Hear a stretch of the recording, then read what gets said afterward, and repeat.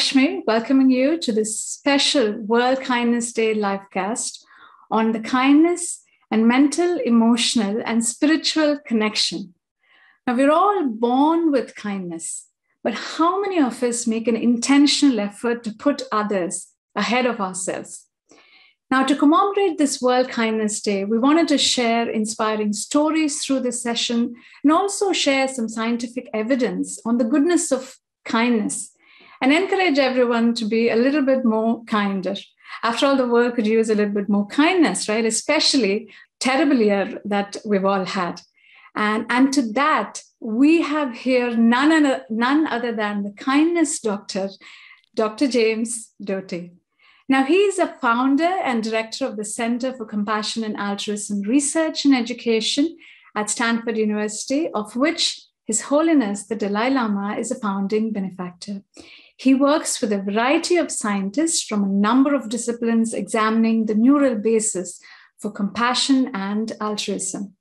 Dr. Doty is an inventor, entrepreneur, and philanthropist. Now, Dr. Doty is the author of the New York Times bestseller, Into the Magic Shop, a neurosurgeon's quest to discover the mysteries of the brain and the secrets of the heart. That has now been translated into 40 languages. Dr. Doty's work has been cited in numerous media, including the Wall Street Journal, the New York Times, the Washington Post, NBC, ABC, and many others. Now, ever since I've read his book, I've been planning for this webinar for almost two years now. And finally, I'm delighted and privileged to be able to have this conversation with you uh, on this beautiful kindness day, Dr. Doty. So, really, a hearty welcome to you today. How are you? I'm wonderful. Thank you for having me. It's great to be with you uh, and also to be with you on uh, the World Kindness Day. Thank you. It's a, it's a pleasure. And uh, so there's so many questions in my mind. But first, I'm going to start off with your journey. Uh, just rewinding your life to the point when, you know, you were 12 years old, poor, with an alcoholic father and a mother chronically paralyzed by a stroke. Really, life must have been at a dead end for you. Now, from there to becoming a neurosurgeon. So, what was that which you know influenced you? Now, I'd like to hear it from you. Sure. Well, uh, and I'm not uh, indicating that my life was the worst possible life, but certainly with an alcoholic father, a mother who had had a stroke, was partially paralyzed, chronically depressed, attempted suicide multiple times. We were on public assistance my entire life, and uh, we were evicted from various homes. But uh, when a child grows up in that type of an environment, of course, uh, they have a variety of emotions uh, one is a feeling that you're not worthy, you're filled with shame, that somehow this is your fault. The other aspect is that um, you have anger, uh, you have a sense of hopelessness and despair, you don't see yourself having a future.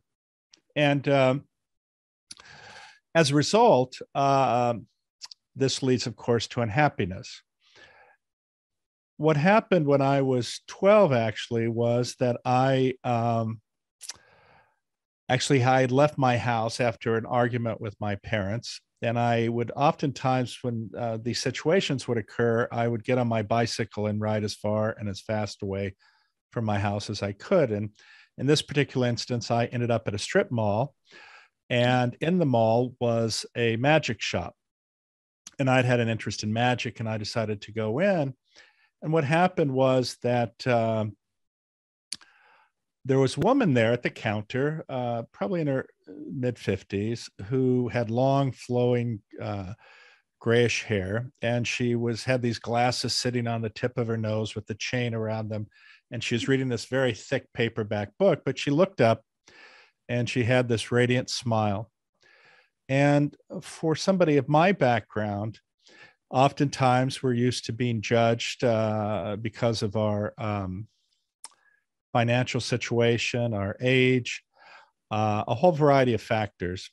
And the thing about this interaction was that I felt immediately that this woman was embracing, was non judgmental, actually cared, uh, was actually listening.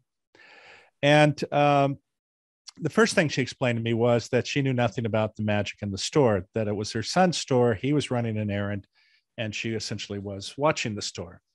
So, uh, which was all fine. Uh, so we began this conversation.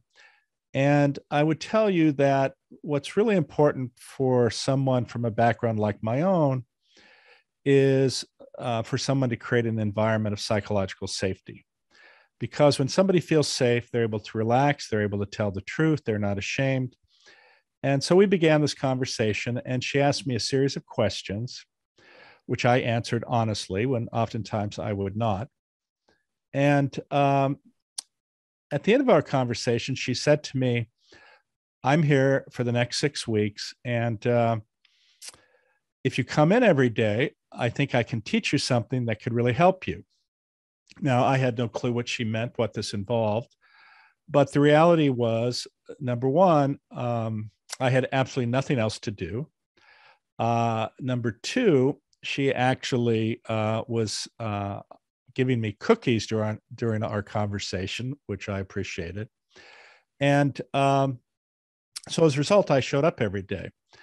And what happened is um, something uh, that actually at that time was quite extraordinary. And it had two parts. One was this concept of uh, what is called mindfulness today, and the other was manifestation of your intention. And so the first thing she taught me, which I actually did not appreciate before, was that I was very tense. And the reality is, when you grow up in an environment that is chaotic, one in which you never know what's going to happen next, then you're always tense because you have engaged your sympathetic nervous system. And this, of course, is our flight, fight, or freeze mode. And uh, uh, so you have this whole changing of your physiology. You're releasing epinephrine, norepinephrine, these catecholamines. You're releasing an increase in cortisol and other stress hormones uh, because you're anticipating uh, the fight or flight mode.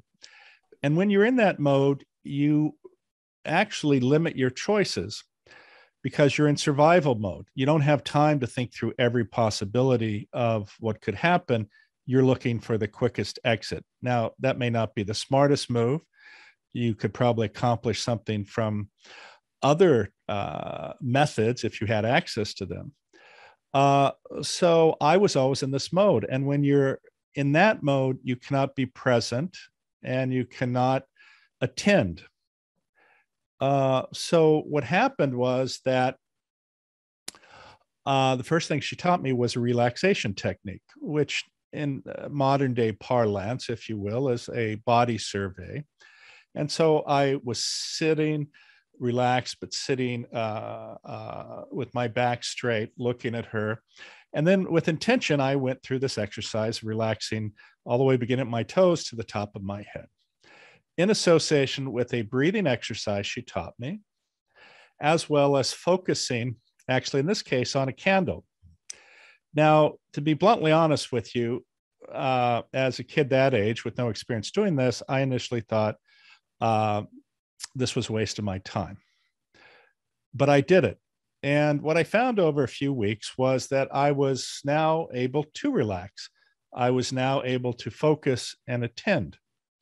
And the thing is, to excel and perform, you have to be able to focus and attend so once she taught me that, the other thing she focused on was the negative dialogue that I had going on in my head. And so many of us have a negative dialogue. And the reason is, is from an evolutionary point of view, negative things have a tendency to stick to us because it's the negative things that put us at risk in a hostile environment. But unfortunately, commentary uh, also sticks to us in a similar way.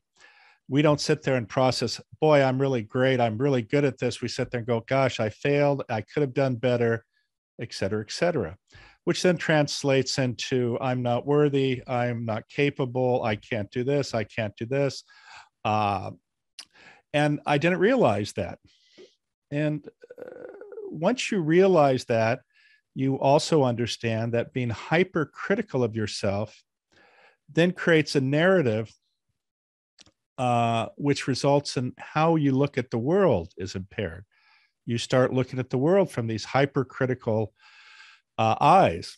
And so she taught me how to change that dialogue from one of negativity to one of positivity, one of self affirmation, one of acceptance, uh, one where you feel you are worthy, where that it, you were capable of doing anything you wish to do.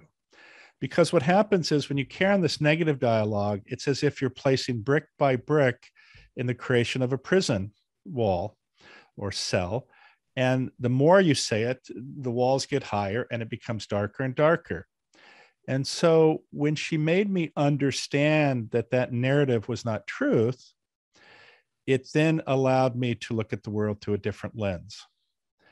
And this is called self compassion. And a lot of research has been done in this area by uh, Kristin Neff and uh, Chris Germer. And it has been scientifically demonstrated to have a huge impact by changing this view of yourself.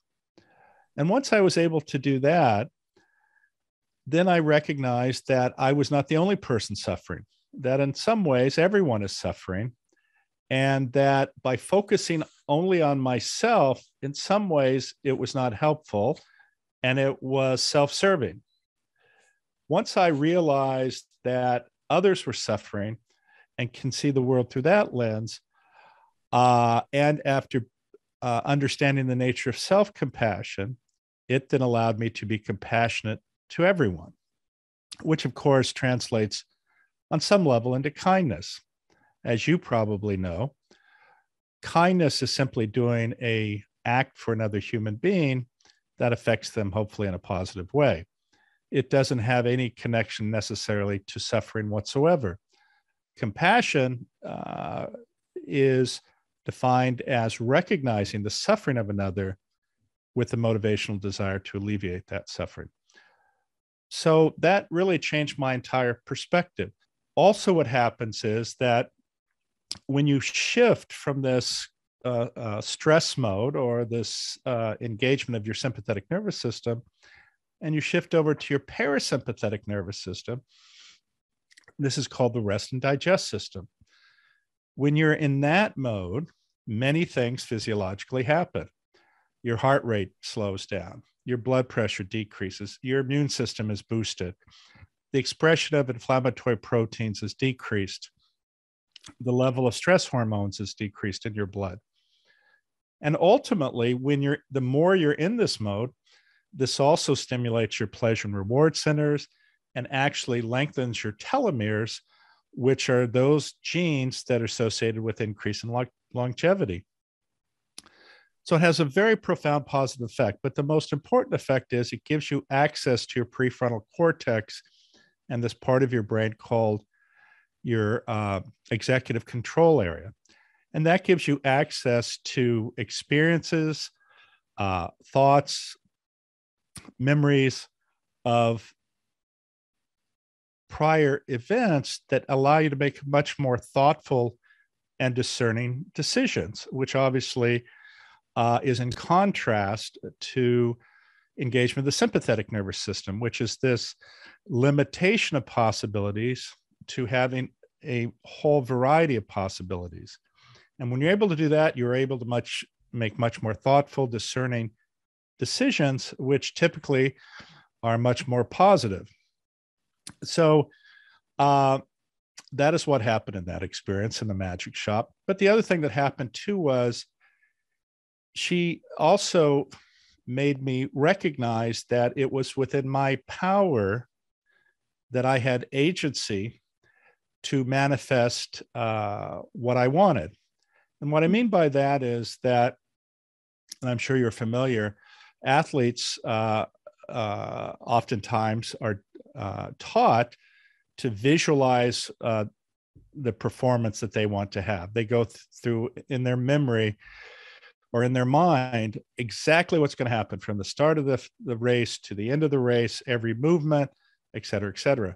And it turns out that that technique, which was really, uh, I think, begun in the 80s or maybe 90s, uh, actually is very apropos to manifesting anything you want. And so uh, she taught me a technique whereby I made a list of those things that were most important for me to accomplish, at least in my 12 year old mind, and then uh, had me write them down over and over again, had me read the list uh, uh, to myself, read it aloud, and then sit with each goal and visualize myself having it manifest. And that proved to be a very, very profound technique. It actually uh, allowed me to achieve everything on my list. Now, again, in a 12 year old mind, I had this confusion about what I thought I wanted. I wanted to live in a mansion. I wanted to drive a Porsche. I wanted to have a Rolex watch, which is very immature and uh, certainly not unusual, though, uh, in a child's mind of thinking uh, what is important. But uh, ultimately, I realized through experience that uh, that puts you on the path to believing that acquiring things or certain achievements is going to make you happy. And clearly, as we all know, both perhaps from our own experience and experience of others, that does not make you happy. But that did allow me to the technique she taught me believe that i could go to college to medical school become a neurosurgeon ultimately become an entrepreneur uh, so that had a very positive benefit but at the end of the day uh, i had to face the fact that i was still unhappy mm.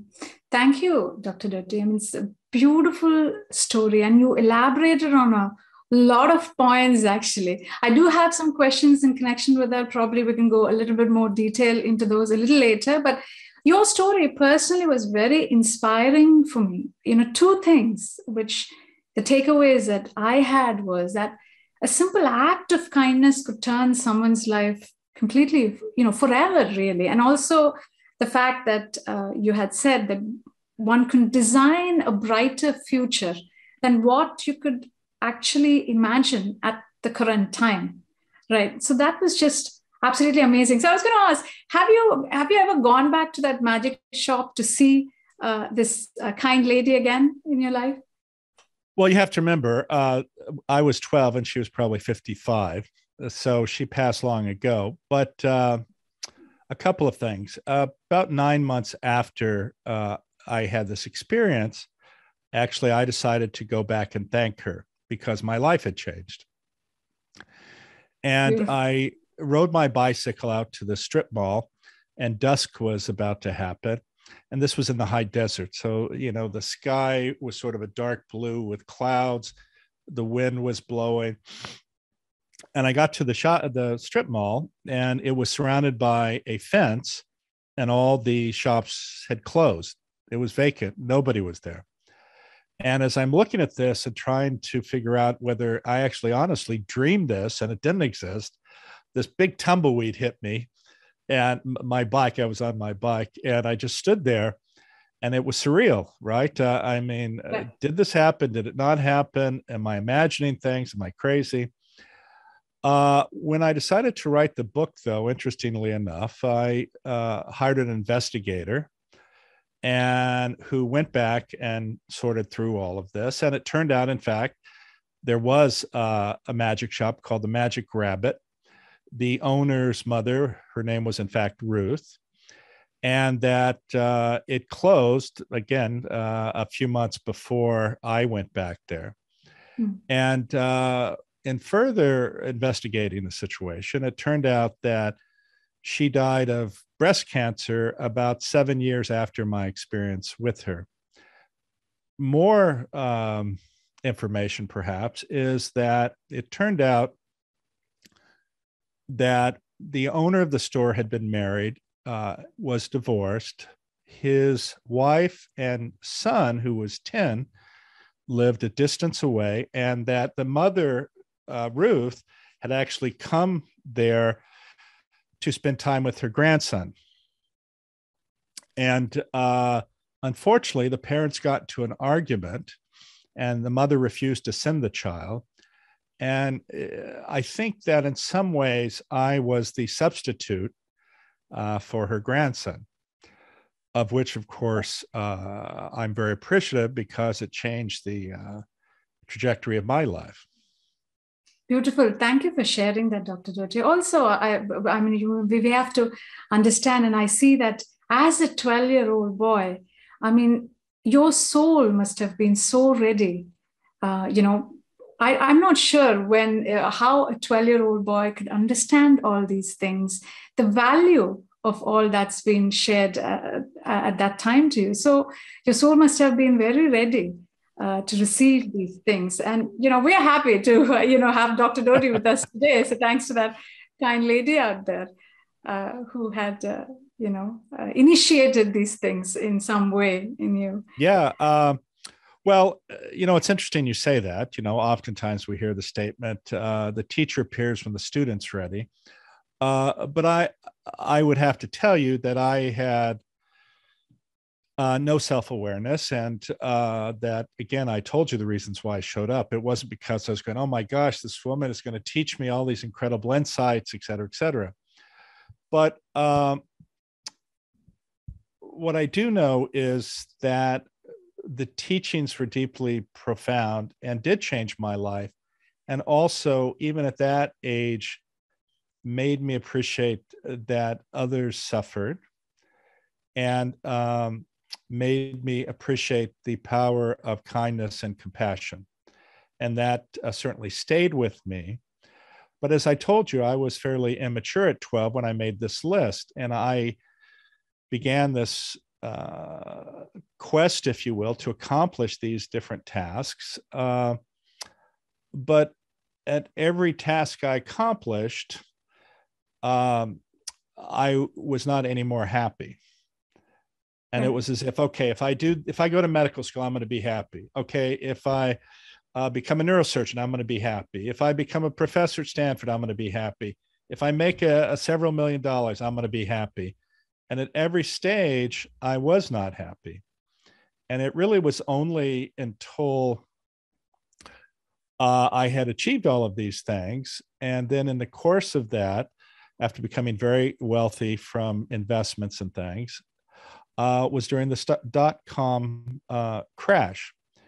And over that period of time, which was about six weeks, I ended up losing about $78 million and actually ended up being about $3 million in debt.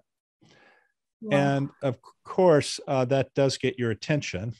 And uh, uh, and I also found that uh, in a situation like that, you get two good friends. One is your banker, and one is your lawyer.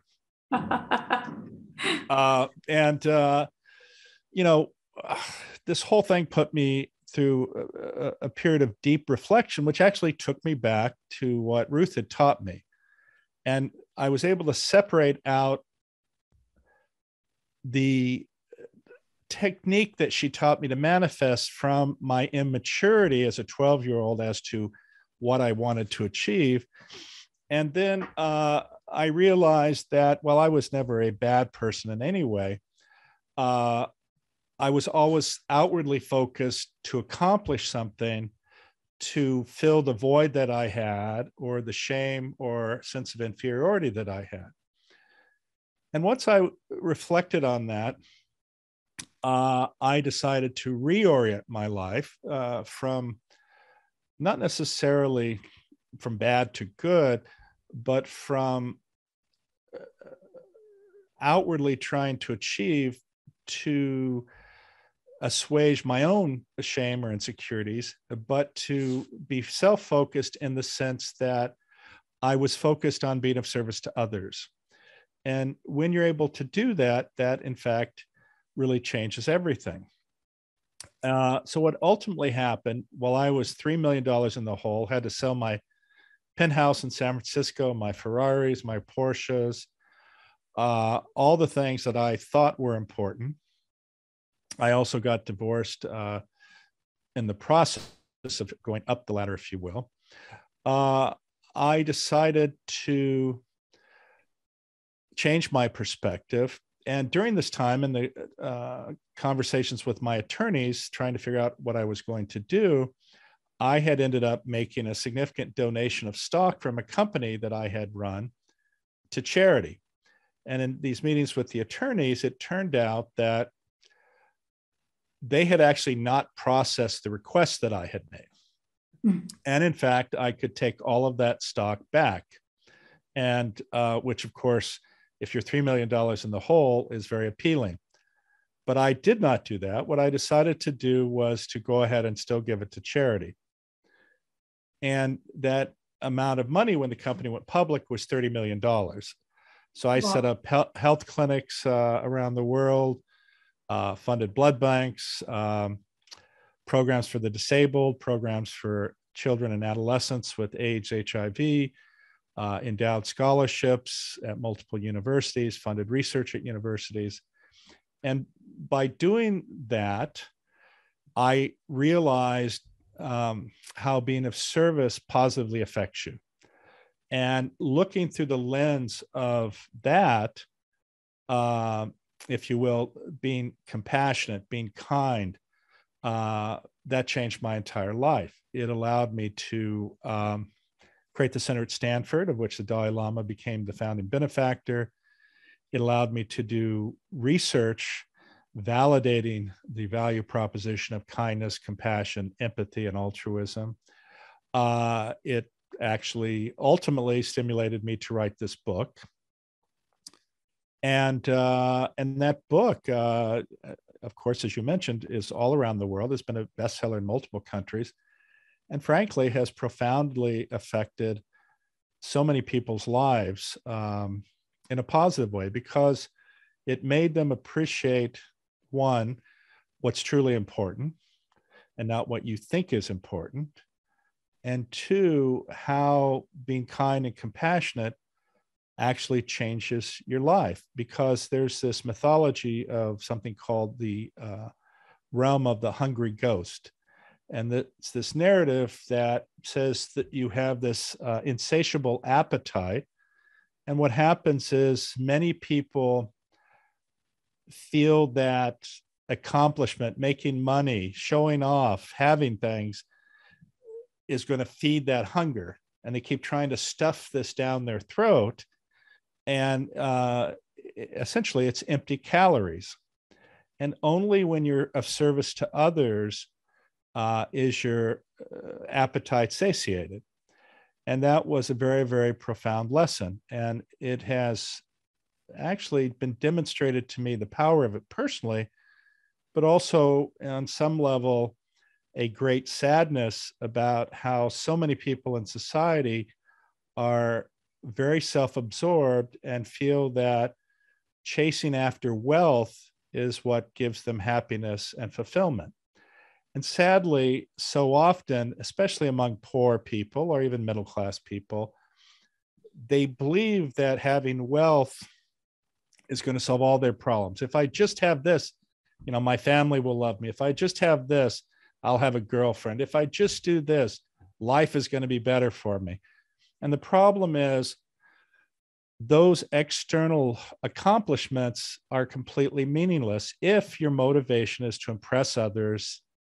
Uh, and so uh, that entire perspective change at least for me, was extraordinarily powerful. And frankly, for many of the people I've interacted with uh, through my book, have actually uh, learned to understand that while there's nothing wrong with making yourself comfortable, living well, taking care of your family, if your sole motivation is money or conspicuous consumption, you're going to be very unhappy versus if you focus your life on being of service for caring for others frankly going out of your way to help others not only is that more internally fulfilling but what happens is you realize then that all these other things you thought you wanted actually oftentimes are a consequence of you actually being kind and generous. It's a definitely an extraordinarily profound uh, sharing uh, and your personal experience that you shared with us uh, today, Dr. Doty. I, I see your point, and certainly success and money cannot buy love and happiness.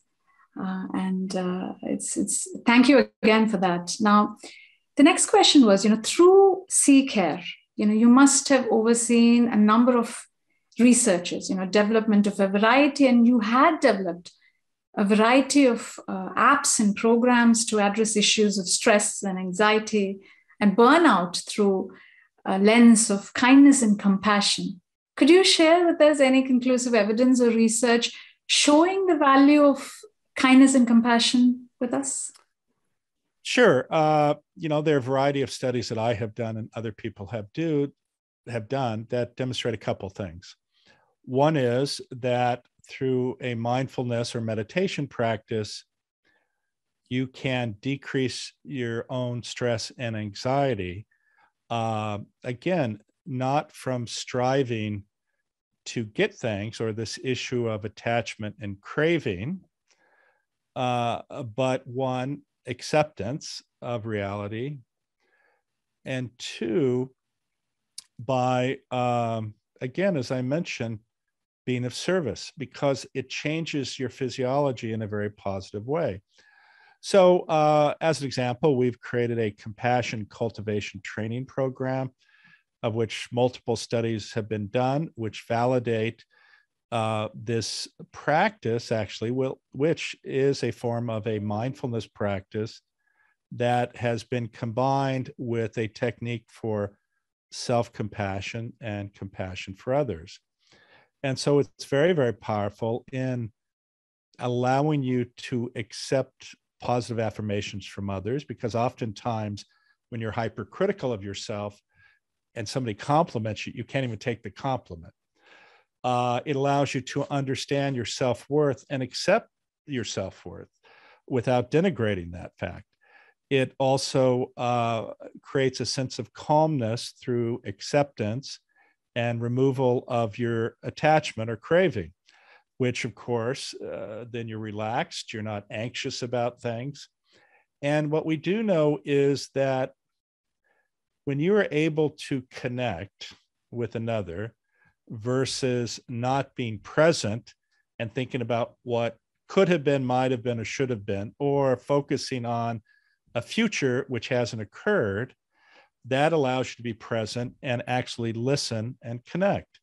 And of course, one of the most powerful agents, if you will, to improve your health and longevity is social connection and deep, strong relationships. A lot of people talk about the blue zones, which I'm sure you're aware of these places in the world where people routinely live to be over 100.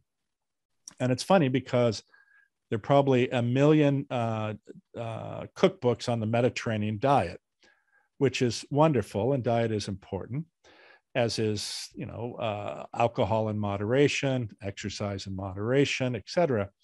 But by far, far and away, the greatest contributor to one's longevity and health is deep social connection. And in fact, uh, a study was done at Harvard that has lasted over 80 years obviously multiple investigators, but it's followed these undergraduates, uh, uh, in, in this case, males, because that's the way it was 80 years ago. But regardless, it followed these men over the span of their entire lifetimes.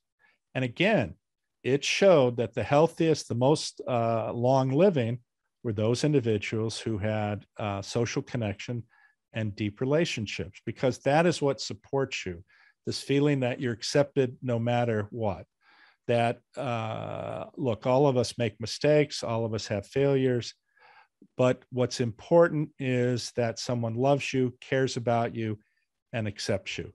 And uh, that is uh, the primary determinant of a healthy, long life. Brilliant. Now, how do you make this kindness a habit? You know, as a matter of routine to oneself, to others, uh, to nature. Any suggestions for some lifestyle techniques that would help us become kinder, more sure. altruistic people? Well, uh, you know, it's interesting because what happens to a lot of people is that they get distracted in their own life. and they get distracted by focusing on their self and what they want to accomplish. And of course, this leads to all the negative aspects. Uh, so, what I would suggest uh, uh, is that you begin every day with this motivation. And my own practice is uh, that I wake up and I sit on the side of my bed. I go mm-hmm. through a breathing practice because that shifts me again over to engagement of the parasympathetic nervous system. Then I think of the joy and awe of being in this world, but without attachment uh, to anything related to that. Uh, you know, I always tell people uh, I'm happy simply by waking up in the morning. Uh, and therefore, you don't need anything beyond that. And then what I go through is what I mentioned in my book is this alphabet of the heart. Okay. And uh, so I sit on the side of the bed and I start with C. It's 10 letters, C through L. And I sit there with my eyes closed, breathing. And I think about uh, compassion for self and others, recognizing the dignity of every person, uh, this idea of equanimity or evenness of temperament, not getting distracted through uh, either the stresses of things not going as you wanted or chasing uh, accomplishments which don't bring happiness oftentimes. And then practicing forgiveness, because, you know, when you carry this anger and hostility, all it does is affect your own physiology in a negative way and distracts you from being present. Uh, some people say it's like drinking poison and somehow expecting it to affect the other person. And it's not to say uh, you forget about this uh, injustice, if you will, but you're not attached to it anymore. You don't carry the anger about it of course, the other, which has been uh, very much demonstrated to be very powerful, is this concept of having gratitude. You know, so many accomplished people, or even others uh, who are just uh, uh, uh having challenges, so often we look up uh, at what others have and not be appreciative of what we have. And again, in some ways, this is a form of craving. You want what they have again under the false notion that uh, you believe that if you have that all your problems will be solved. You know it's interesting uh, there are innumerable examples uh, as an example of people winning the lottery. And of course they go and they you know they bought tickets you know once a week or whatever. They go god if i get this i'm going to be happy all my problems are going to be solved and you know 99% of them uh, go through this money in less than a year. Uh, they've actually found that it brings out oftentimes the most negative in those around them. And then they no longer have it, and their life or their level of happiness didn't change one iota. And, and this is this belief that there's some external determinant of you being happy. Uh, next is humility. Uh, you know, I recognize as an example in my job as a neurosurgeon that while nominally I'm in charge as the uh, surgeon, but I could not do my job without so many other people. Uh, the nurses, the people who clean the bedpans, the people who sweep the floors. There is nothing that I do of which I do it alone. And when you recognize all the individuals who are helping you move forward in this world, who are helping you um, actually care, uh, it's really quite amazing. And when you acknowledge that, when you accept that, uh, I think that is a very powerful thing because you realize you are no important, more important than anyone else in this world. And, you know, we see people who are arrogant or egotistical go around and they pound their chest and say how great they are. And they aren't great. The greatest person in the world is a person who quietly sits, who understands his place, who does his job with great integrity and intention, and who is satisfied. Uh, I is for integrity or values that you that bound your behavior in this world. J is justice or a sense of fairness towards others. You know, based on our positions in society, I believe that we have a responsibility to care for those who are vulnerable. That's the other right. is uh, the other is K, uh, which, as we've talked about, is kindness, and all of this is contained by love. And so I go through that every morning, and it sets my intention for the day. It deals with uh, my own ego, and it creates a sense of calmness. And then uh, as I go through my day, if something occurs or I get particularly anxious or, or uh, tense, I just step back for a minute or two or three and either pick a letter or an experience associated with that letter or go through the entire uh, 10 letters and close my eyes and then it's all good again beautiful certainly it's the it um, rekindles that innate uh, self kindness. Now, it definitely sounds great, but however, in reality, we have a lot of challenges from the brain. Our brain is trained, uh, you know, according to what we receive, experience, and learn from our environment. For example, when we are hurt by somebody, we just start to fear people, and you know, we start to hate them. Now, fear of the known, and then there's also fear of the unknown as well. Uh, what do you think can help overcome this? Uh, what do you think of meditation? Do you think that facilitates uh, releasing fear in some way? Well, uh, of course. I mean, I think if you are trained correctly, it can be an extraordinarily powerful tool for many people. One is it um, uh, leads to calmness. It, of course, positively affects your physiology. It makes you understand um, who you are and orient you towards appropriate values that actually improve your physiology, as we talked about kindness, uh, compassion. And it creates a narrative um, for you to lead your life. And what happens is uh, you realize the kinder you are, the more compassionate you are, the more thoughtful you uh, are of others, that um, you're happier and your physiology works better. And um, nothing is more powerful, um, frankly, uh, for your own happiness than just simply being kind to others. You know what people forget is that oftentimes these types of acts uh, are simply saying hello to somebody. Genuinely. Right. Or right. going out of your way to help another person. Or, as an example, I was in Denver recently and there was a homeless person. And I just walked over, we started talking uh, I ended up buying him dinner. We sat and talked for about an hour, and uh. and it, it was incredible. I mean, not that I'm doing this to feel good, but this type of an act to just reach out to someone and actually even listen and hear their story, I think is very very powerful. You know, it, it was interesting. I was with the. Go ahead. Sorry, I was saying these days we spend too much time on our phones, so uh, giving time for others is something very valuable what you're sharing.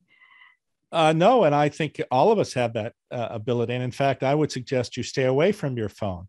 You stay away from facebook or instagram uh, because they have a tendency to trap you in the narrative that you're not good enough uh, and uh, also emphasize the negative as an example for facebook not because they care about you, they're only interested in increasing their profits. But what they do do is they enlist the help of neuroscientists, psychologists to create narratives that result in the release of dopamine, which, of course, excuse me, stimulates your reward and pleasure centers and makes you want to go back. It's highly addictive. Mm-hmm. And sadly, uh, it creates also a narrative of perfectionism and uh, you know they have all these filters and other techniques to make you look perfect when the fact of the matter is none of us are perfect uh, we're frail, fragile human beings. We all don't have the perfect bodies or the perfect teeth or blue eyes or whatever it is you're creating uh, that you think um, uh, makes you better than somebody. And it's hilarious uh, and sad when you see uh, sort of these people unmasked, right? And I'm sure you've sure. seen those photographs where you see this photograph of this absolutely beautiful woman uh, or man, and they look like perfect. Their body's perfect, no blemishes, perfect everything. And then it shows them without any makeup on, no filters. And frankly, they just look like you or I, right? That's and and that's who we are. We don't have to be perfect in any way. In fact, uh, I'm sure you've met people who, frankly, uh, not that they don't care uh, about how they look, they just recognize it doesn't matter.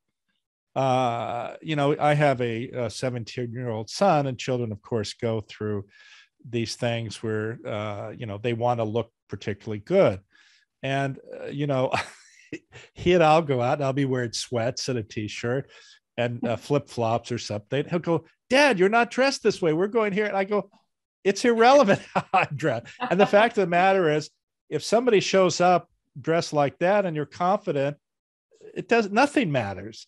You know, That's and right. these the are these are yes, these are the people yeah. you want to be around, not right. these people have to go into the store with a perfect suit and a tie and skinny and uh, uh, because again frankly you can usually see through that and you can see that they're striving to be something not being who they are. That's right. Do you think uh, dr doty that uh, you know it is somewhat connected with fear fear of uh, the, the, society may not accept us or the friends or a social circle will not accept us if we don't look or act a certain way right so being uh, self-compassionate towards oneself do you think that will help us be more authentic and more genuine well of course uh, because you know this is the biggest fear of people is this fear of being judged by others and as a result it for many people, it causes a great deal of suffering. And sadly, of course, there are trolls or bullies in the world who, because of their own fears and anxieties or sense of failure, that they want to pull everyone else da- down. Uh, but oftentimes that can only occur if you let them. Yeah. Now, I'm not talking about violence or things like this, but I'm talking about people who make comments or try to uh, turn people against other people. You know, these are little people who are insecure and, frankly, who have been hurt themselves. Mm-hmm. And if you look at it that way, it sort of changes your own perception and actually, um, and hopefully, uh, will allow you to be compassionate to them. But again, uh, uh, you know, it's always interesting because you'll see a person who is confident in themselves in these types of situations. And actually, generally, people don't bully them.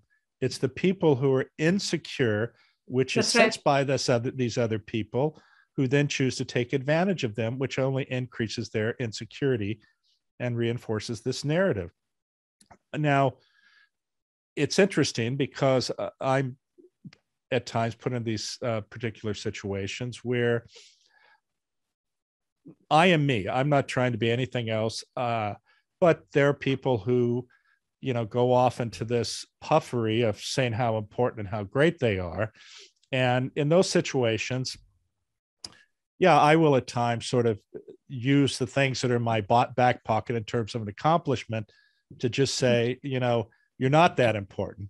But then again neither am i. You know these people who have to and and this is a narrative of how modern society works. These people they're not vulnerable or authentic and they're terrified of being judged. So instead of saying like if somebody asks you how are you doing? you go you know it's really bad. You know my mother's sick. You know uh, i'm going through a divorce. I'm really suffering at the moment. They'll sit there and go everything's fine. Right, right. Mm. and it's not fine. And being vulnerable uh, and and sort of sharing that uh, my own experience has been generally speaking people embrace you and want to help versus sitting there saying well you know i'm a doctor and i've done this and i wrote this book and i ran this company and i'm really important that is completely meaningless the most important thing is vulnerability and authenticity you know it's funny i often give lectures and frankly I tell stories about myself or other stories where my uh, voice will crack or I'll shed a tear. Mm-hmm. And what does that do? It allows everyone in the audience who've been holding this in to be vulnerable. And almost always they start crying with me. Right? That's right. Uh, but it's funny. I was at one, uh, I was giving one lecture, and a woman came up to me afterwards and she said, Gosh, I saw you up on the stage and I felt so sorry for you you know, you must have been so embarrassed. I, your voice broke, a tear was coming out. You know, all these people looking at you and judging you. Gosh, that must have been so horrible. And I'm like really looking at this lady incredulously. And she goes on and says, I'm a psychiatrist and a hypnotherapist. If you show up uh, to me for three sessions, I can get rid of all of that. Now, why would you possibly want to get rid of this ability to stand up in front of people and be who you are, unfiltered, right. and showing your own vulnerability. Because yes. in some ways, you being vulnerable, you being able to stand up in front of a group of people is not a sign in any way of weakness. It's a sign of profound strength. And it allows so. people. Yeah. Yes, I think so, Joe. What you're sharing is absolutely very close to my heart. So I think people who are very uh, grounded and rooted and believe in their core values uh, really people like you who are more authentic and genuine and share their vulnerability. And that's where I think from there comes true humanness and connection with uh, others. So uh, it's it's beautiful actually. And finally, Dr. Reddy, I know we always run short of time, and I'd love to have an endless conversation with you. But uh, this is something that I really wanted to ask you. You know, you're a successful doctor in life, economically, socially, professionally, also. Now, if you could choose at this point of time to be either kind or success, being successful, which would you choose? You know, and why? Well, first of all, um, to me, being kind and compassionate is successful.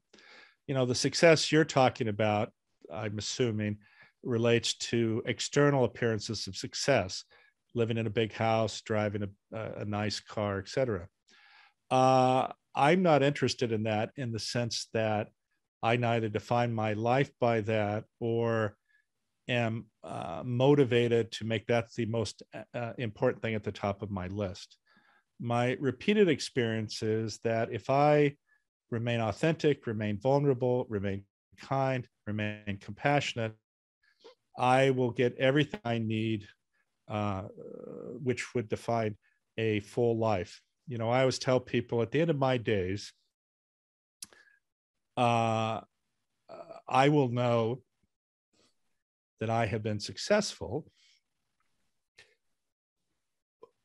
when my children think of kindness, compassion, love, they think of me. Beautiful. Absolutely wonderful. And I think uh, that's a great message uh, you share for our audience today. Um, and for those of you listening in, I'd like to, uh, you know, pose the same question to you all. You know, if you were to choose between kindness and success, what would you choose and why? And we'd love to have some interactions from you all. So please feel free to think about it and uh, type your answers in the uh, chat box and uh, Dr. Doty, it was really a great, heartfelt conversation with you. And uh, I'd like to use this time to share this technique of heartfulness. You know, we talked about fear um, and, you know, how to overcome it. So I just want to give our audience an experiential session uh, on this heartfulness technique, which is called cleaning or rejuvenation. So rather than, you know, putting it in words. I'd love you to all, all of you all to experience this at this moment. So please join us. It'll take about five minutes or so. Uh, so sit comfortably and close your eyes.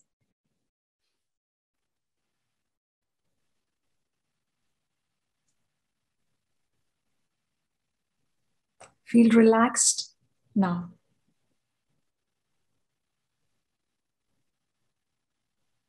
You are mentally cleaning complexities and impurities from your system.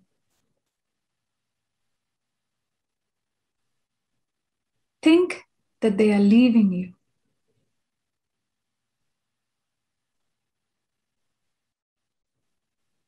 Settle down with the thought that all complexities and impurities are going away.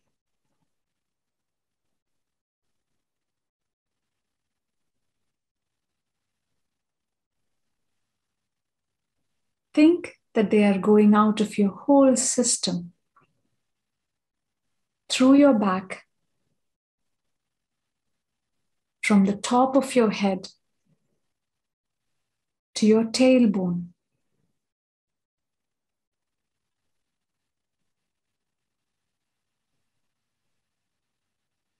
Mentally suggest that the impurities and complexities are going out of your system from your back in the form of smoke or vapor.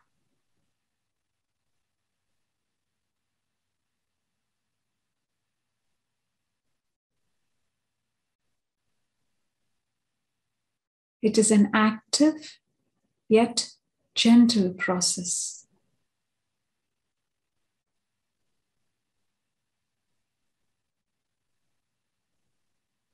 Do not dwell on the specifics, specific events or things you want to get rid of.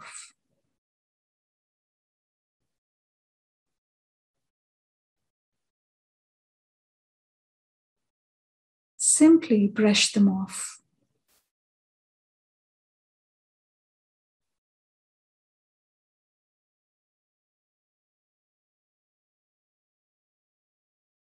Gently accelerate the cleaning with confidence and faith. And apply your will as needed.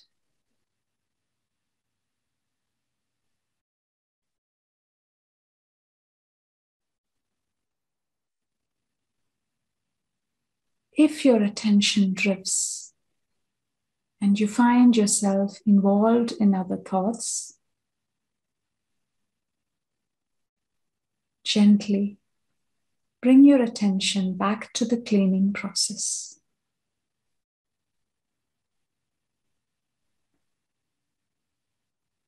Apply your will as needed.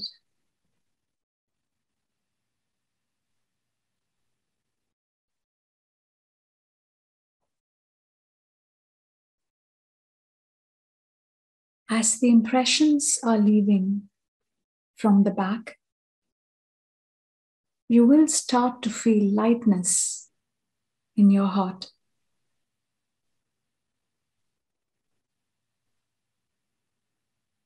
Let's do this for a couple more minutes.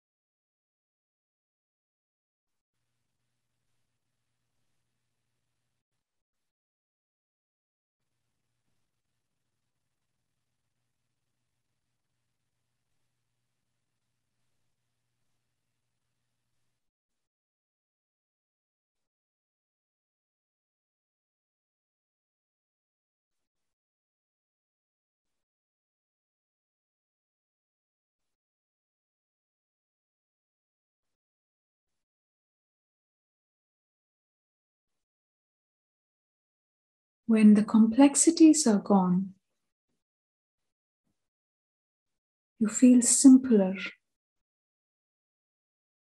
and lighter.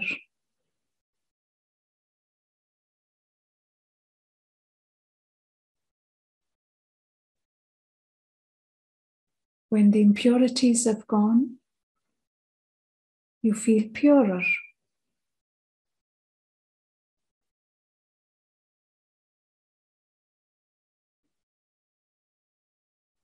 Your whole body, every cell of your body is filled with lightness.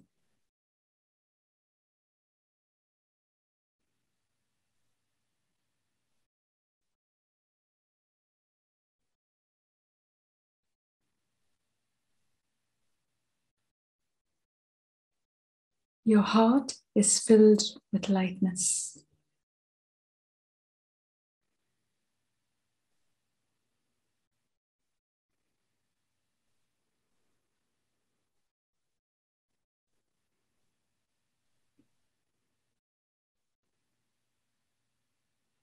Now, with this thought,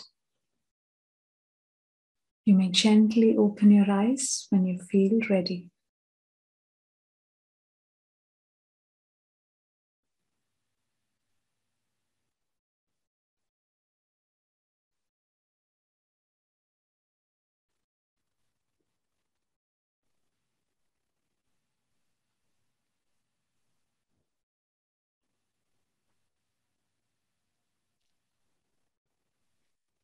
So, thank you all. It's very important to be positive, and we know that we cannot be positive with a fearful mindset. And with conviction, I can say that this practice is a great tool for that.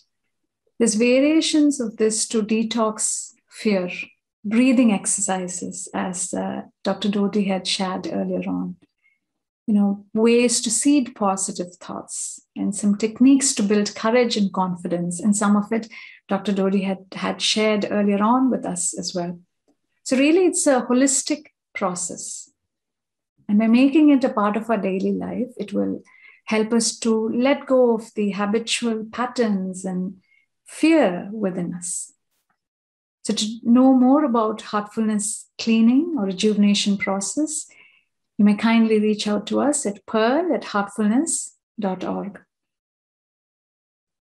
Now, I'm kind of sad to say that this session is coming to an end, uh, but really I feel fulfilling in a way too, Dr. Doty, because through this session, you know, I'm sure that we have spread positivity, you know, through your stories, inspiring stories, heartfelt sharing you know we've made an impact uplifted someone's heart out there. So uh, any closing thoughts dr Doty, from you?